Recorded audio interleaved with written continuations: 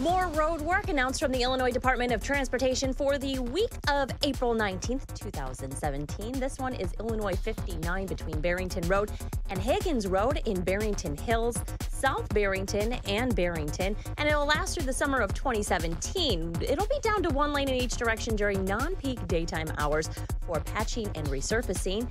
And then another project on the northwest side of Chicago over the Chicago River Bridge Foster Avenue. The bridge between Pulaski and Keeler will be down to one lane through the end of the summer for painting. And that painting is actually going to extend the life of the bridge.